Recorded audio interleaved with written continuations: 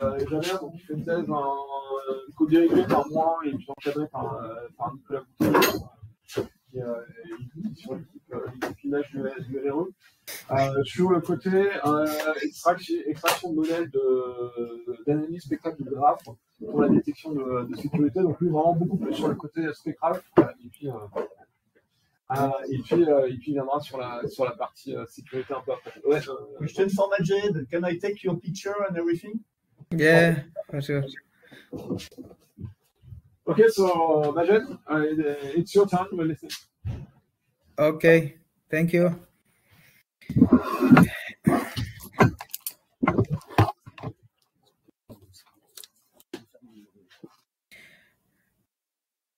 Okay.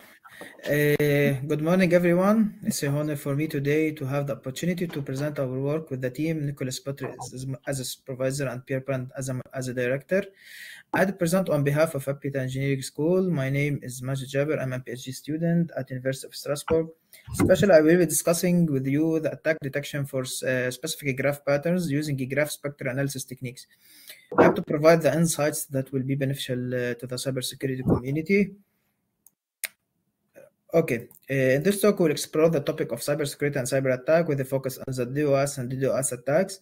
We'll begin by introducing the concept of the network graphs uh, as they relate uh, to the cybersecurity, uh, followed by a discussion of the state of art in the anomaly detection and anomaly detection techniques. Uh, specifically, we'll delve into the use of spectral graph analysis for detecting anomalies uh, network graphs.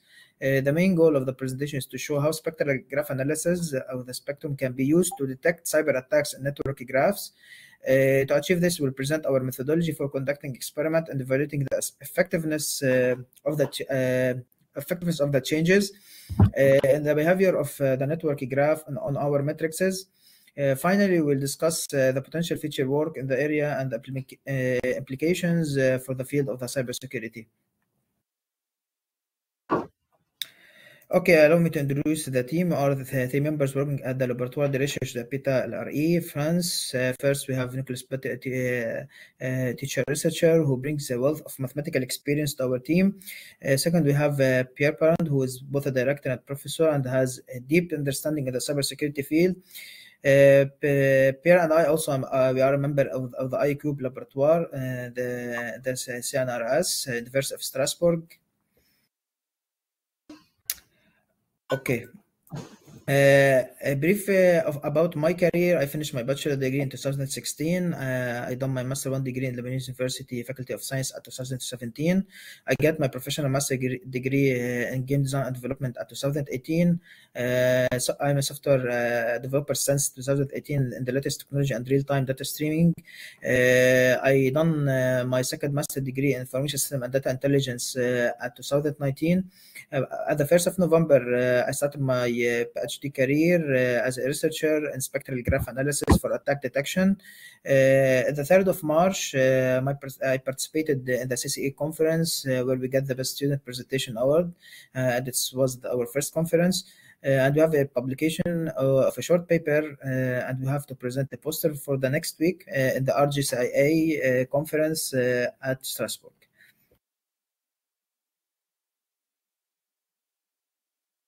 Okay, so for the communication, we have the conference acceptance and we present our work, as we said, uh, toward attack detection and traffic data based on spectral graph analysis with the authors uh, Nicholas Pierre and uh, me.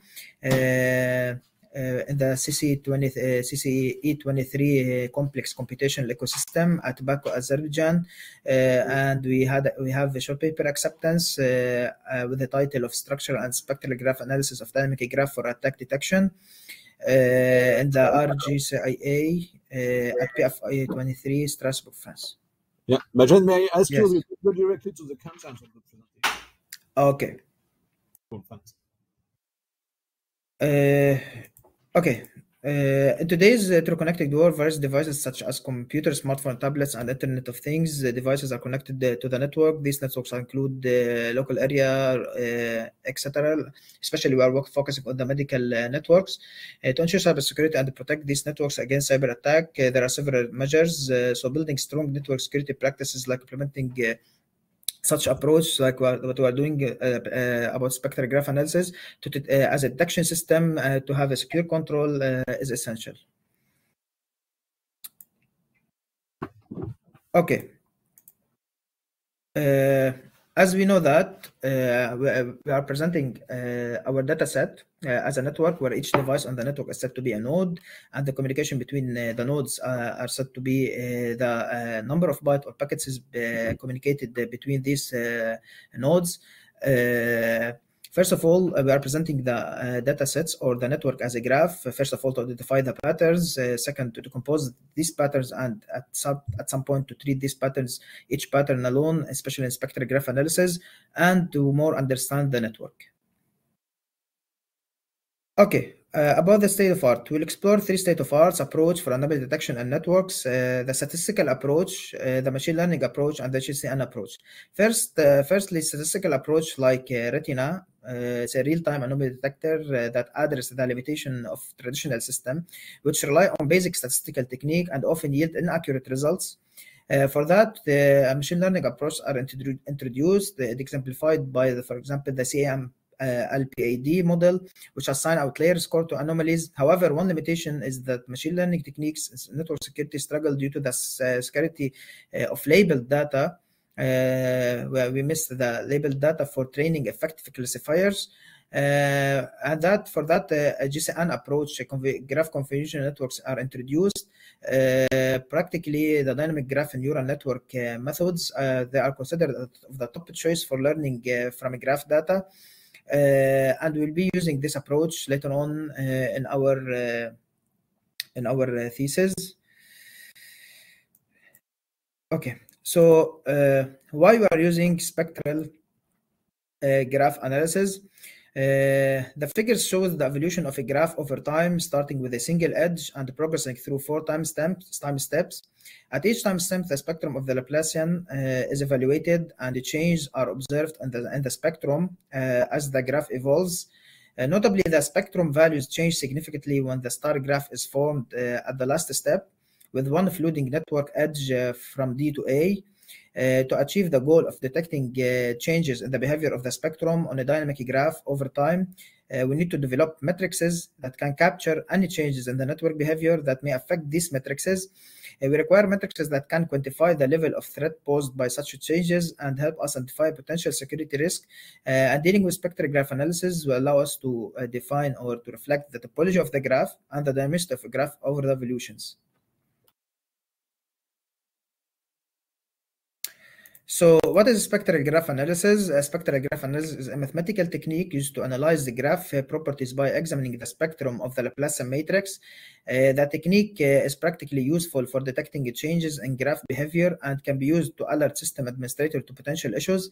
Uh, by analyzing the Laplacian matrix, we can extract useful features uh, and insight about the structure of the graph uh, spectral graph analysis allow us to identify the patterns and anomalies uh, in the data, which can help us uh, detect network intrusion or uh, other malicious uh, activities. Uh, spectral graph analysis is a powerful tool for monitoring and analyzing graph-based systems. Okay, so uh, why we are using why we are extracting the Laplacian matrix uh, from uh, from the graph not uh, other matrices. Uh, since the Laplacian matrix is the most commonly used matrix in spectral graph analysis due to its superior spectral properties and robust, robustness to the changes in the graph structure. since any change in the graph may uh, practically uh, reflect uh, these changes on the on the matrices, which is the Laplacian, which already reflected to the spectrum of the graph. So the spectrum of the Laplacian matrix contains valuable information uh, Uh, that it's utilized to various application of the spectral analysis, including clustering, uh, like uh, it's used also in the community detection and the graph partitioning. Uh, other type of matrices can be used, uh, such as, for example, the adjacency matrix, incidence matrix, but like the signless Laplacian matrix, but the Laplacian matrix has been found to be practically uh, useful due to the ability to capture the important information about the connectivity of the graph. Uh, additionally, the Laplacian matrix has been uh, shown to be more stable and robust to changes, as we said, to the graph structure and topology uh, and topology compared to other uh, matrices. Okay, uh, the Laplacian matrix in brief, uh, it's the subtraction of the diagonal matrix or the degree matrix uh, with the adjacency matrix. The degree matrix which reflect the number of nodes of a graph. The adjacency matrix reflect the connection between the nodes uh, over the network. Okay, so uh, after introducing or after introducing how to present our network as a graph and then extracting the Laplacian matrix, uh, now we'll talk about the spectrum. Uh, that's a set of eigenvalues. It's a set of values or list of values. In the case of Laplacian matrix, uh, L used in spectral graph analysis, which is the Laplacian matrix, the spectrum uh, or the eigenvalues are said to be of n values, which reflect the n number of nodes of the graph, uh, where L is a square matrix of rank n, for example. So by completing the eigenvalues of the Laplacian matrix, uh, we can gain insight into the structural properties of the graph, such as the number of connected components of the graph, uh, where the multiplicity of zero values uh, represent the number of connected components, uh, the algebraic connectivity of the graph, which represent by the second non-zero eigenvalue. We'll talk about these interesting eigenvalues in the second slide of the spectrum. Okay, so for the spectrum, uh, since eigenvalues uh, has a valuable insights and reflects uh, valuable insights about the structure and the topology of the graph, there is an interesting eigenvalues or interesting values inside the spectrum uh, that refer to these eigenvalues that hold significant information about the graphs. Uh, first of all, uh, as we said, the zero eigenvalues reflect the number of components of the graph. the algebraic connectivity that are the first non-zero values inside the spectrum that reflect the connectivity of the nodes with, the, with each others. once you have a larger algebraic connectivity, then the graph is said to be highly connected. And uh, the last eigenvalues of the spectrum uh, that are the high eigenvalues reflects mainly the degree of the nodes of the graph.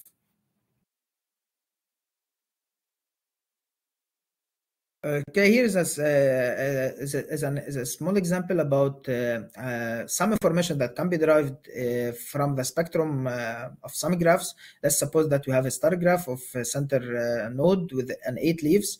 as we can see in the spectrum, after extracting the Laplacian matrix and extracting the spectrum, we can see that the number of our multiplicity of zero values of the spectrum reflect the number of components of the graph, and as in the first figure or the second figure.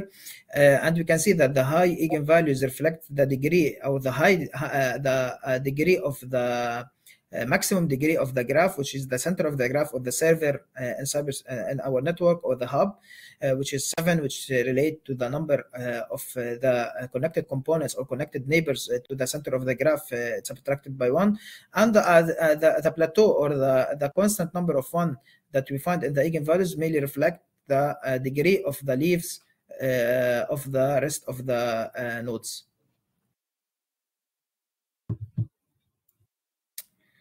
Okay, so the research question is how can we benefit from the spectral graph analysis to identify and detect cyber attacks over the network?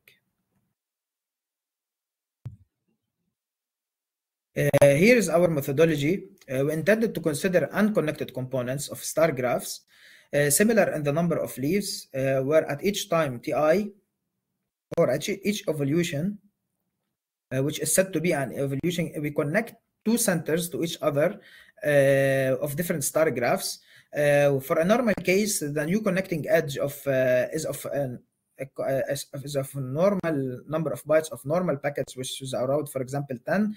Uh, otherwise, uh, it's said to be suspicious if it's greater than 10. Uh, these two scenarios will be applied in our methodology, where at each evolution we'll extract the Laplacian matrix of the graph and then the spectrum and apply our matrices uh, to this uh, spectrum uh, so we can test our matrices if they are able to detect the changes in the topology or the behavior over the evolution and the dynamicity of, over the dynamicity of the graph. Just, just be careful, you, you still have 10, 10 minutes, uh, which is plenty of time to explain us what you do, but you have a lot of slides. Yes, yes, okay. Uh, uh, we, we introduced uh, we introduced five matrices uh, the connectedness uh, matrix, uh, which is uh, mainly increases when interconnection occur in the network, the flooding, which influenced by the occurrence of the connection and the weight uh, of the connections, the wideness, which uh, mainly depends uh, on the packet sizes and the packet size and number of packets uh, over the network, and the symmetry, which mainly reflects the symmetry of the graph. Okay, uh, the connectedness, uh, I will talk in brief about them. Uh, it depends on the zero eigenvalues. As we said, the interesting eigenvalues are the zero eigenvalue, the algebraic connectivity, and the degree of the nodes, which is the largest eigenvalues. So this matrix mainly depends on the number of zero values inside the spectrum, uh, where it increases whenever we loses connected, uh, we loses or we add an interconnection between the server of the graph. The second uh, matrix, which reflects mainly uh, the connection and the flooding. So whenever we have a connection or a flooding over the network, this matrix will increase.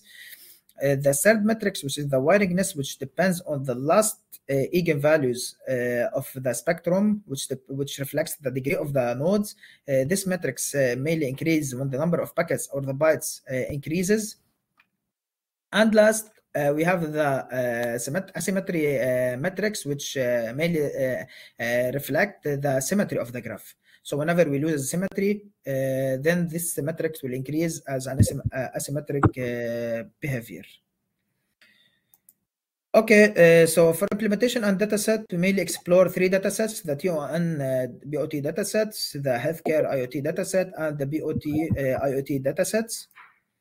Uh, we did some attack analysis uh, to these uh, datasets because mainly we are focusing on the denial of service attacks or distributed denial of service attacks. So we find in the BOT and TON different categories of these attacks. we explored the patterns. We see that most of these datasets contains such as star graphs, since we have in each network a, a hub or a server that's connected or interconnected to different leaves. Uh, so for that, we focus on the star graph in our scenario. First of all, uh, uh, we have supposed or proposed eight star graphs, where at each evolution, we are proposed to connect two connected components to each other under these evolutions until the end to see and calculate the Laplacian matrix and extract the spectrum, and then calculate our matrices over this over these evolutions for the attack behavior, as we said, of a high weight and uh, another approach which is the same scenario for a normal behavior with, uh, with a normal weight uh, which is said to be a normal case.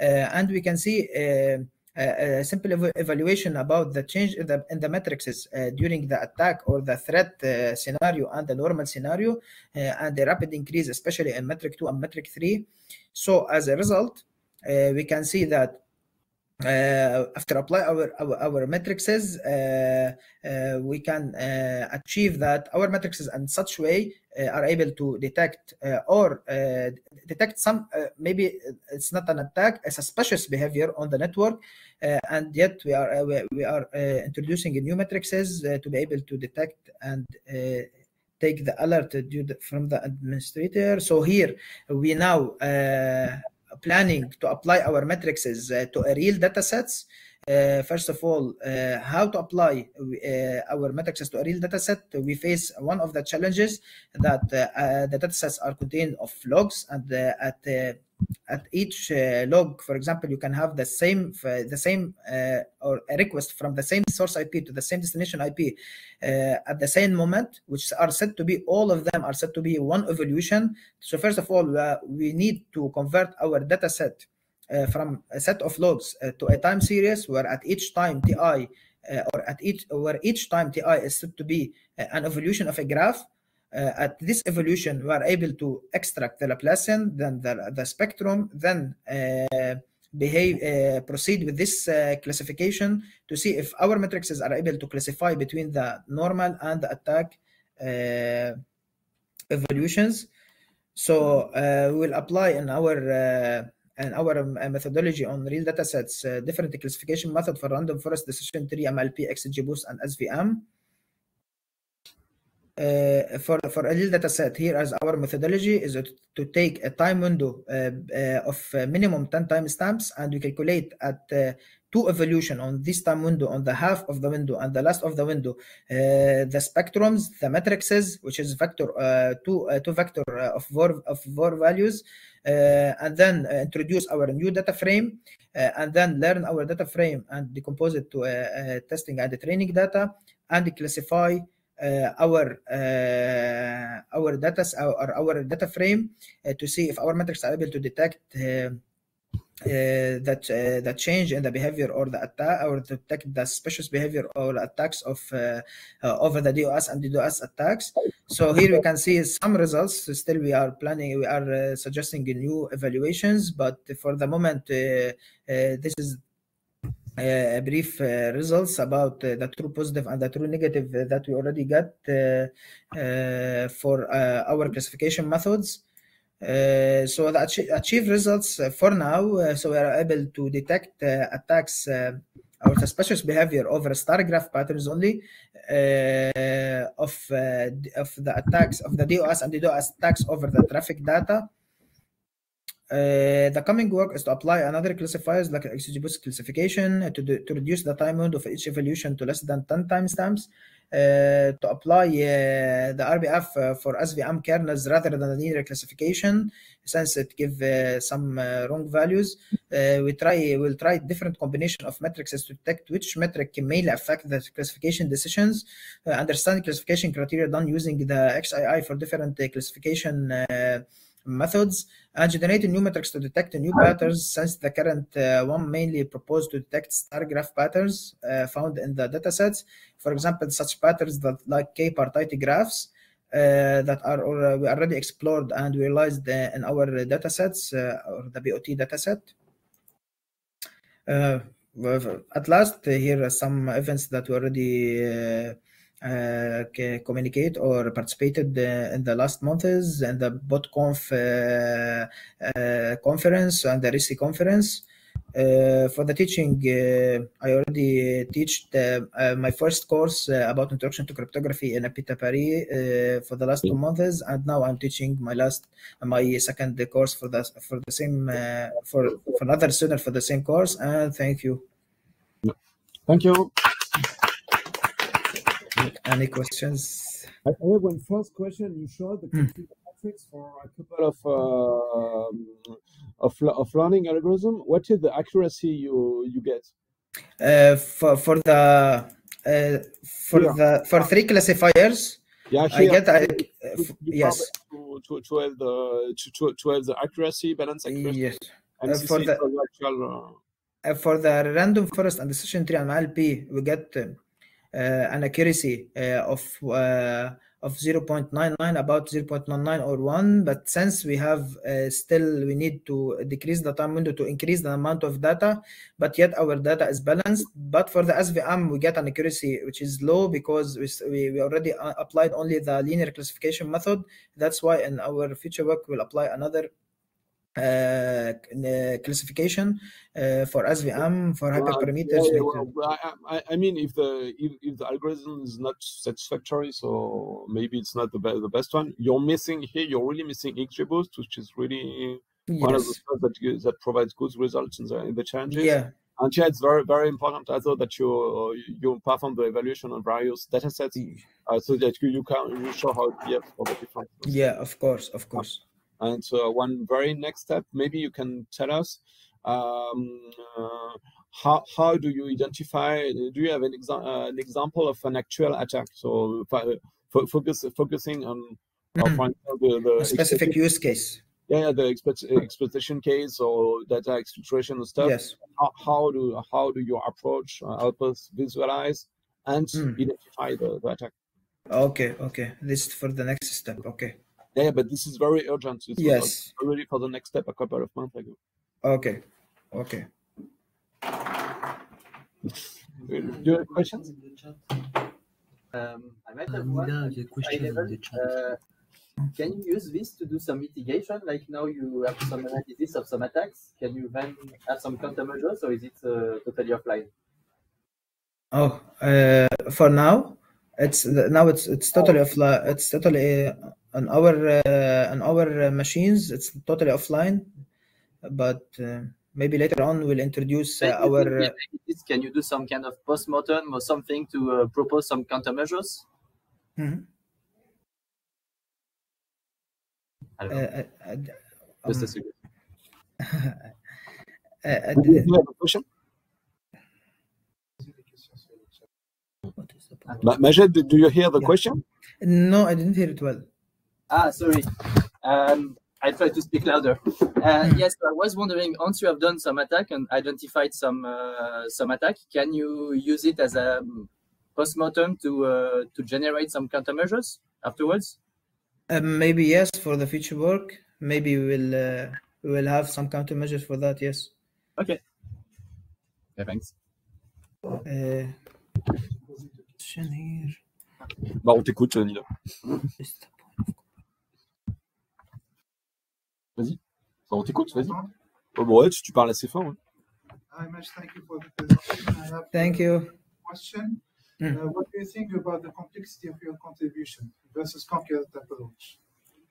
Uh, yet uh, the complexity is uh, as we as we computed it's about uh, similar to the uh, uh, graph neural network algorithms to so still uh, about the complexity it's similar uh, for the for the similar approach or approach that already done on detecting attacks like we said the GCN or other approach of, machine learning approach. So, so still we need to improve the complexity for the future work for sure.